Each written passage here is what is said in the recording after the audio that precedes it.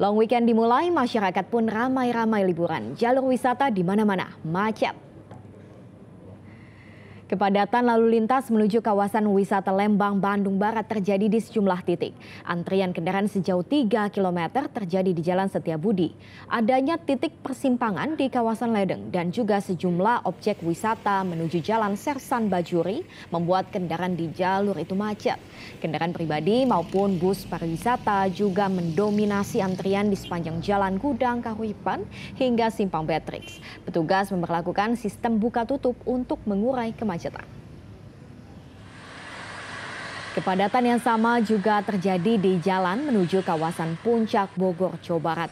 Di sini kemacetan bahkan mengular hingga sepanjang 5 km. Operasi ganjil genap plat nomor kendaraan, kontraflow hingga one way menuju ke puncak sudah diberlakukan sejak pukul 6 pagi tadi. Namun banyaknya volume kendaraan membuat kemacetan tetap tidak dapat terelakkan.